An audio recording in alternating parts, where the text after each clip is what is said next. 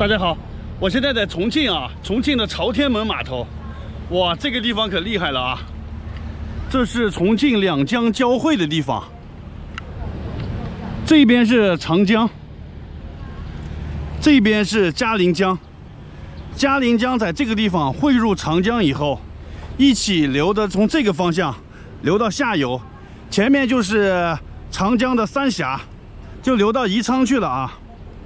非常的壮观，这个地方有很多游轮啊，这是重庆的码头，那边都是游轮，好几层呢啊，那个游轮，这边的游轮呢都可以去坐船，呃，夜游这个两江，在这个江面上看繁华的重庆啊，从这里可以看得到，这个长江的流速非常的快。看那个水流的多快！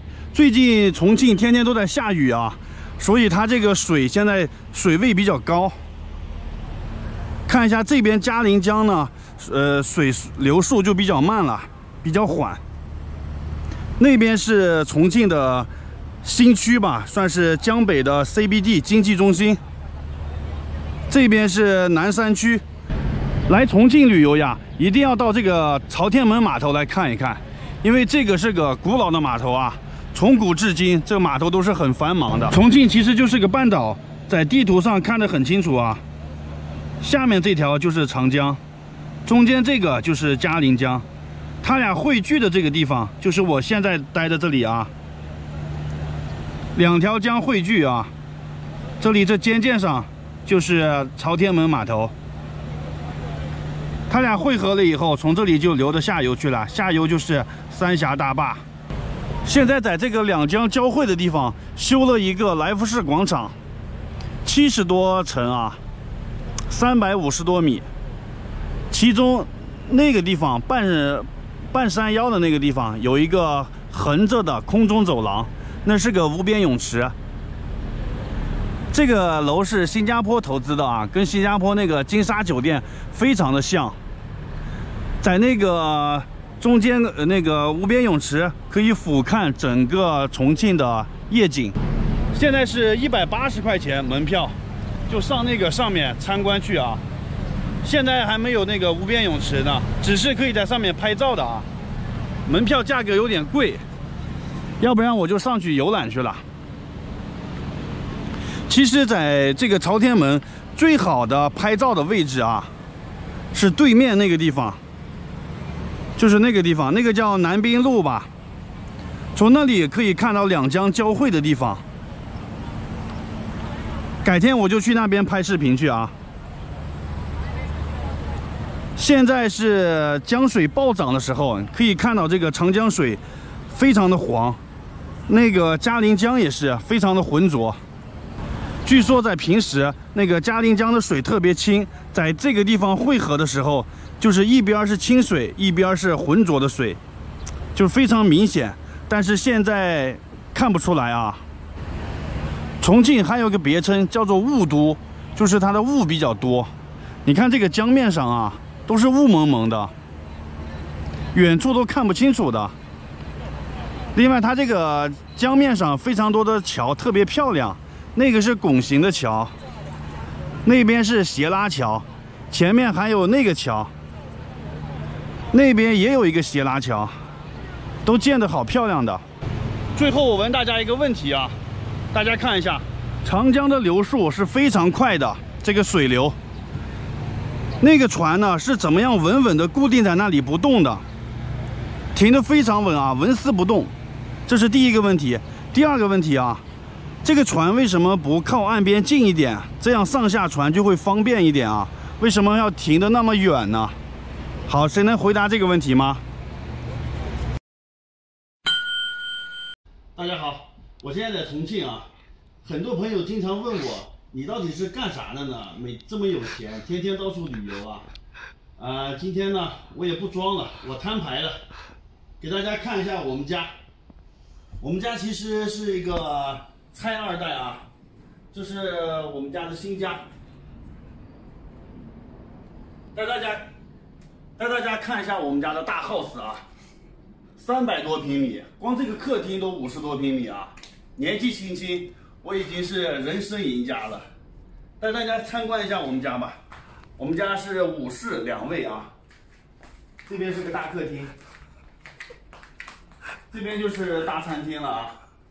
里面的是厨房，那边有两间房间，这边还有两间，这个是保姆房。这边呢是一个卫生间，这边是我住的房间啊。这个是无敌观景的那个观景房。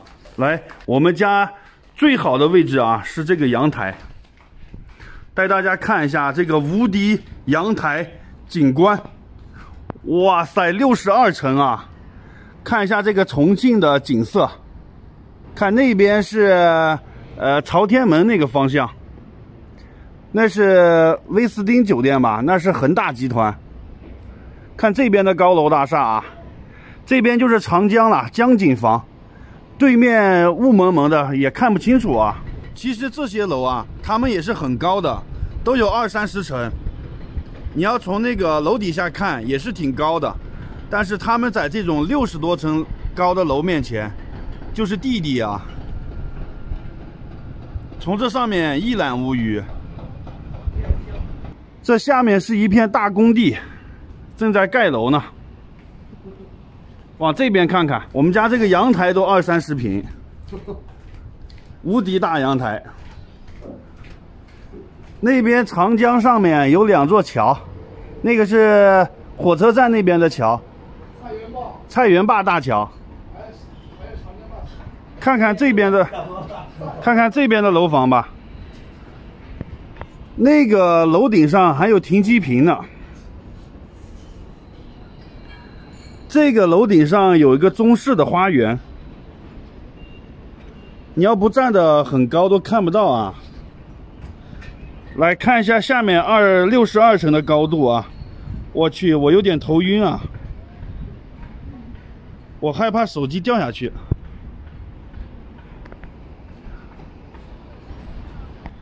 再往那边看啊，那边全都是高楼大厦，一栋比一栋高啊，太密集了。这边的夜景是最美的，晚上我再给大家拍吧。最近重庆不是下雨挺多的吗？这个长江的水位还挺高的。现在看下面的景色，这个阳台特别大吧？坐在这边啊，然后喝点茶，聊聊天和朋友们在这里打个麻将什么的啊。这个阳台真棒。哦，人民，哦，就是在博物馆，博物馆广场旁边就是那个正式协商会那个人民大礼堂。人民大礼堂。太棒了啊，这个家。这个六十二层，风景就是好啊，这个视野特别的开阔。呃，重庆什么地方都好啊，就是它这个雾气特别的浓，不愧是雾都啊。到处都是雾蒙蒙的感觉，不够那么通透，好吧？呃，这个地方其实是一个青旅啊，然后青年旅社，这个青旅的位置特别好，在日月光的六十二层，无敌观景房。这个地方现在房价三万多一平米了，属于呃重庆的核心位置啊。大家好，我现在在重庆的。抗战遗址博物馆，这个里面有那个蒋介石的别墅啊，进去看一下，看看蒋介石的别墅是什么样的。今天是重庆这个大哥开车带我来玩的啊，走进去看一下。我们现在正在路上走着啊，蒋介石住在这个山顶上，有很多小路走上去，终于到了蒋介石的小别墅了啊，他的这个别墅叫做云佑楼。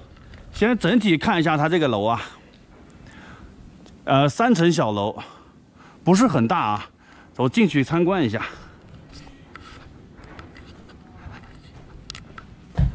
青砖灰瓦的这种感觉。进来的一楼这个地方是警卫室，这是警卫住的地方啊，比较小。这个房间是接待室。接待室里面也比较简单，这还是竹子的椅子，很有重庆的特点啊。呃，蒋介石在这个接待室会见过史迪威、何应钦、张群。在还有一个房间，会议室。哇，这个会议室后面挂着一幅地图，然后可以想象一下当时蒋介石在这边开会的情景啊。房间其实也不是很大。好，一楼就转完了，去二楼看一看吧。这个楼梯，这个楼梯还是感觉是民国那个感觉。一上来以后是个大厅啊。大厅的左边就是他的房间，这边是办公室，这边呢是个会议室。先去他住的地方看一下啊。哇塞，这个就这么小的房间啊！这个就是蒋介石的卧室，简简单单的，没有我想象中那么繁华啊。这也就是十几平米的样子吧，比较简单朴素。看一下他办公的地方啊，办公室也挺小的，也就十几平米的样子。这上面的就是皮沙发，看着就比一楼的那个竹竹子边的椅子要高级一点。看他这里是，呃，那个那个老的电话机，还是带手摇的那种，还有这个绿色的台灯。以前蒋介石就坐在那个椅子上啊，啊，在这里发号施令啊什么的哈，指挥军队。这边有他的一张照片啊，看一下，就是这个照片，就是他坐在这个椅子上啊，你看他正在这写毛笔字，啊，看一下他那个毛笔的那个东西。这这个叫什么磨磨磨墨的那个东西，笔墨纸砚嘛，是吧？砚台啊，砚台。小风扇。啊，你看这个这边还有宋美龄和他坐在沙发这里聊天的。好，去他另一个房间看一下。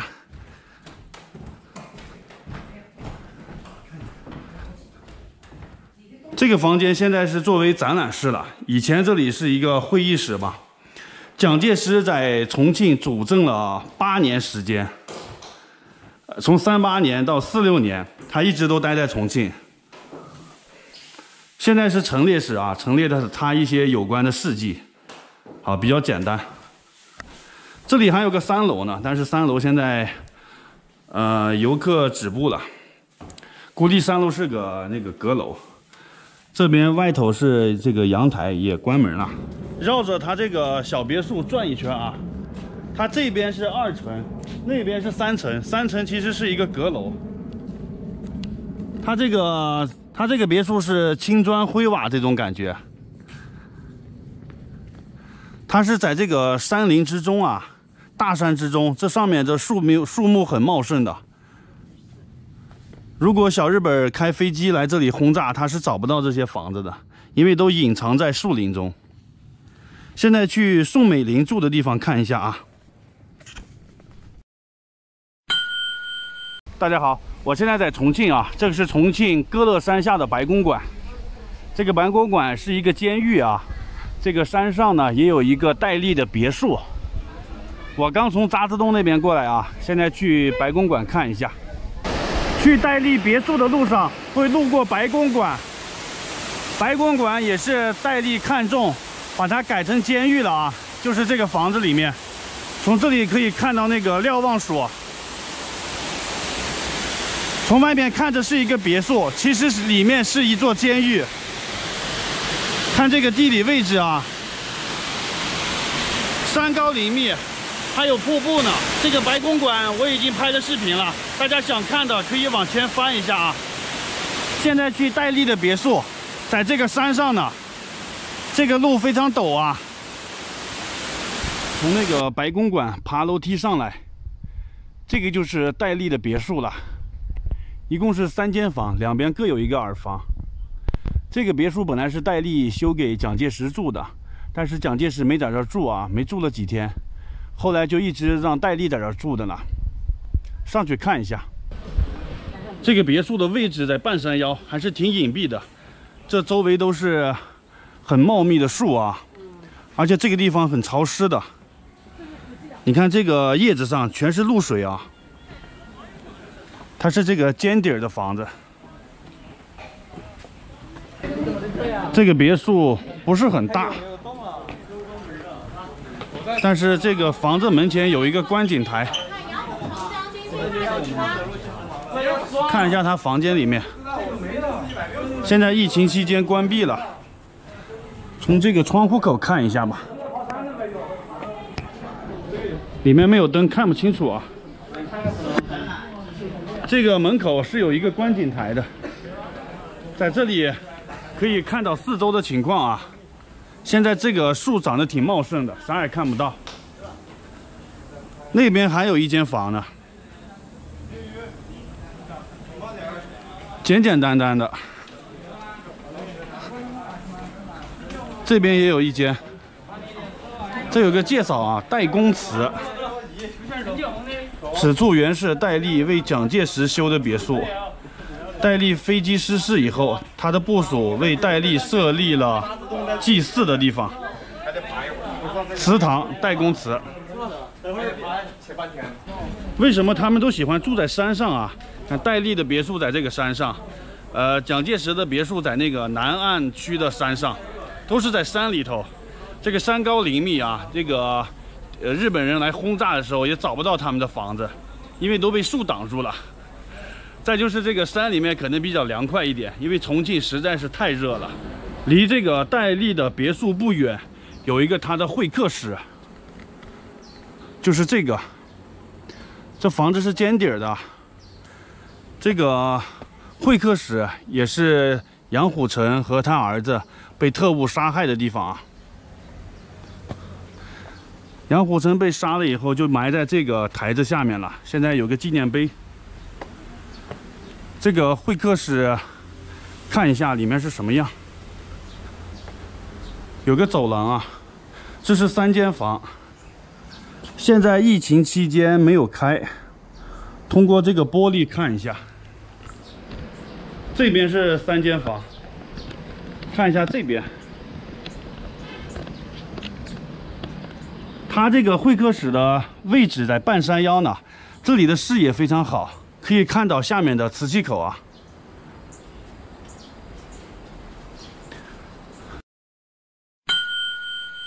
大家好，我现在在重庆，这边有一个地铁站比较有名啊，带大家去看一下。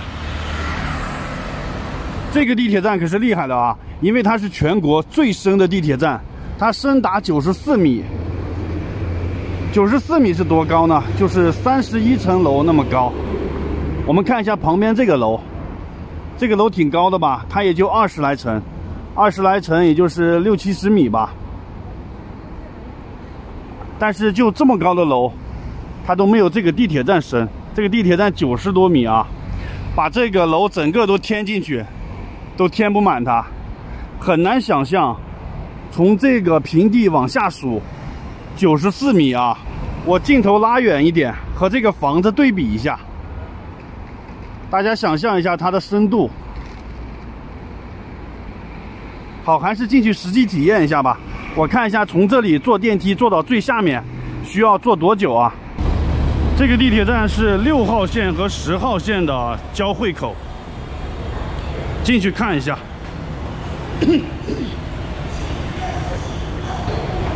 这是第一个电梯，这是第二个电梯。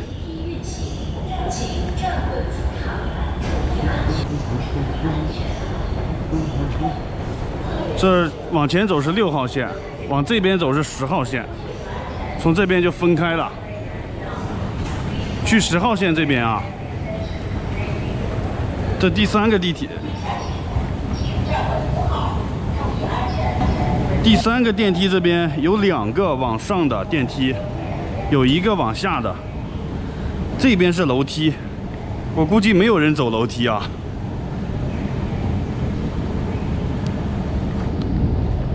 这两天在重庆天天走路，这个爬坡上坎，看小腿都走得很有劲儿了。现在，重庆就是这样，也没有共享单车，交通全靠走啊。现在腿特别有劲儿。第三个电梯也到了，去坐第四个电梯。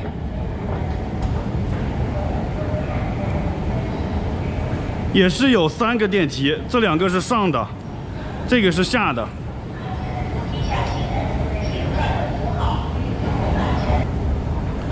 第四个也下来了，去坐第五个，第五个电梯了。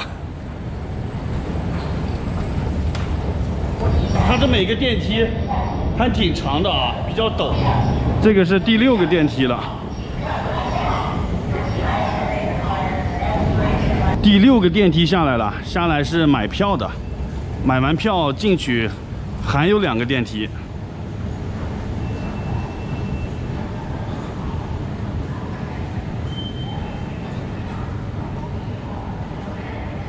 里面是这样的，我先去买票嘛。已经进来了，进来要戴口罩啊。这是个换乘站，六号和十号线，我去坐十号。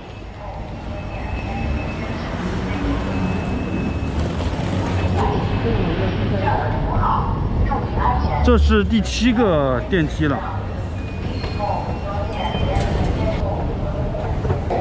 走错了，我不坐十号线，我去坐六号线，因为我要去蛋子石那边啊，那边去转一下。现在已经到了最底下这个，马上坐地铁了啊！我也记不清坐了几个电梯了，可能有七八个电梯，走了有四分多钟，快五分钟了啊！光是坐电梯坐到这个最下面来，太长了。大家想象一下啊，这个地方相当于地下的三十一层楼，哇！为什么要建这么深？你们见过还比这个深的地铁吗？上车了。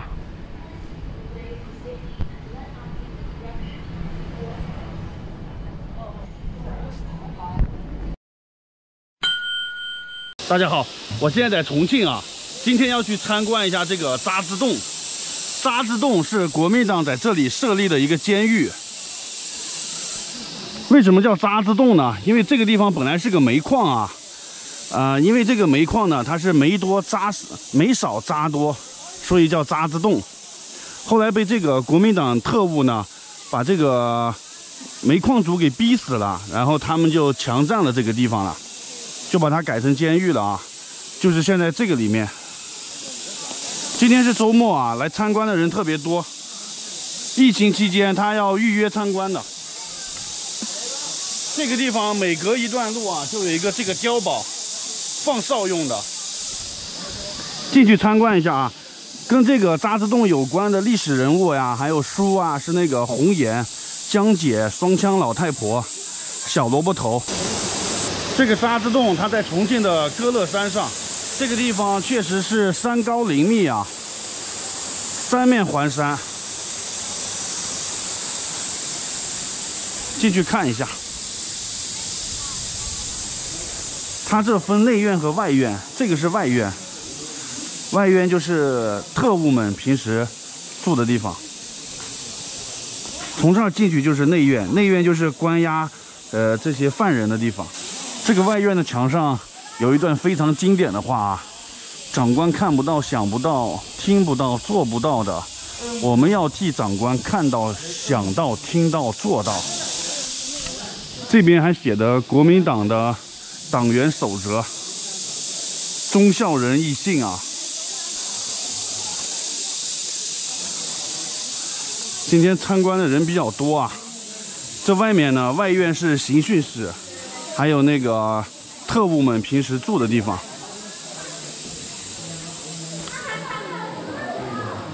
哇，那是刑讯的那些狼牙棒、竹筷子、烙铁、皮鞭。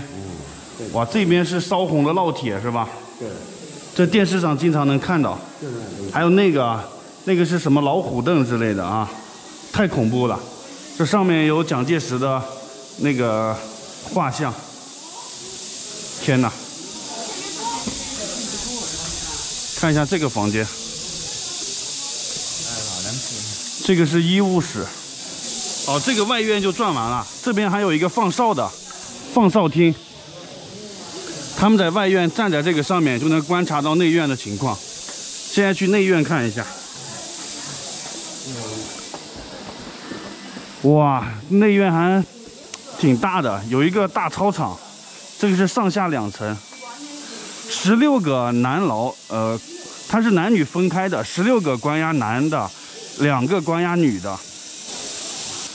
哦，下面这两个是女牢房，上面这十六个是男牢房，看一下啊。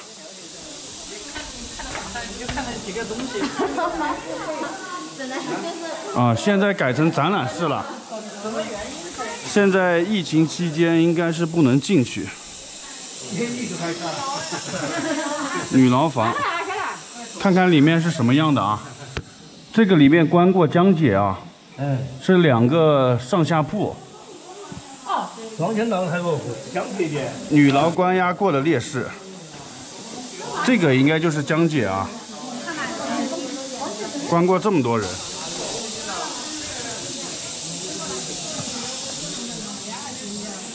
哇，这里面就是很阴暗潮湿啊，因为它在山里面嘛，所以这个地方肯定很潮湿，蚊子呀那些虫子非常多的。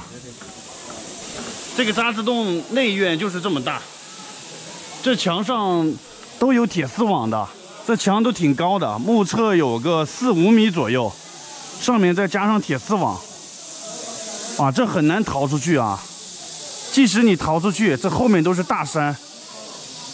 很快就会被抓回来，而且这边都有这些瞭望哨。我们一路过来呢，还有那个碉堡一样的那些东西，都是放哨的地方。所以你只要进了这个，被抓进来这个地方，很难逃出去。已经参观完了。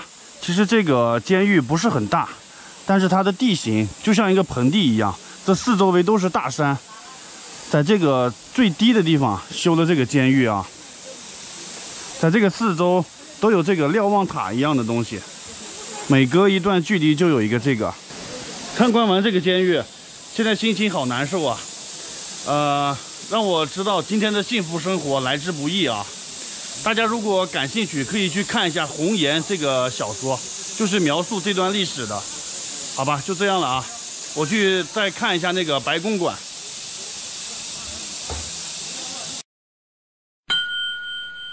大家好，我现在在重庆啊，身后这个是磁器口。哇塞，你看这个人有多少？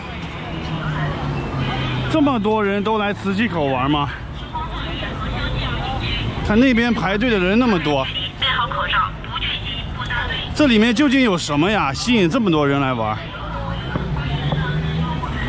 光这个门口的外围都这么多人啊！现在要进去还要预约的，这么多人举着手机在预约。来磁器口的人实在太多了。那边发现一个飞机啊，这是真的飞机啊？为什么这儿会停着一个飞机呢？这是一个商场还是什么？去看一看。我现在到了这个飞机跟前了。也不知道这飞机是真的假的啊，特别大，它是怎么样放到这个地方的啊？这是个商场门口，也不知道怎么放进来的。到跟前看一下，看看它这个大轮子，里边是这样子的，还可以转呢，起落的。哇，特别的大啊！看看这个发动机，哇，看到这个发动机，我就想起来，呃，一些人往进扔硬币啊，那么愚昧的做法，经常能看到那种新闻啊，往这个发动机里面扔硬币。这个应该是个假的，你看这里面是空的，啥东西都没有，所以这应该是个假飞机啊，是个模型。敲一下，从这后面看一下，这里面是被拆空了吗？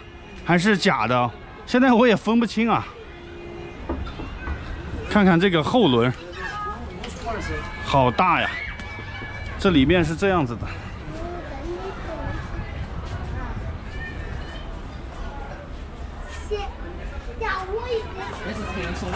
好复杂呀！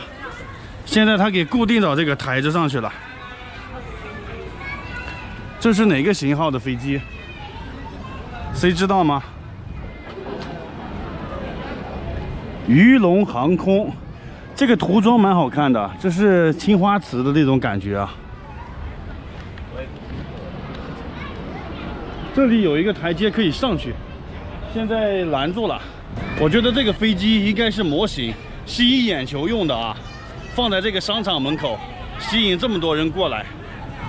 哦，原来这是个飞行体验馆啊，可以模拟飞行。理论培训五分钟，空中飞行五分钟，八十九。五分钟，十五分钟是一百三十九。啊，就在这儿模拟飞行，可以让小朋友进去体验一下这个自己开飞机的那种感觉。飞行模拟器介绍，可以培养小朋友当飞行员的梦。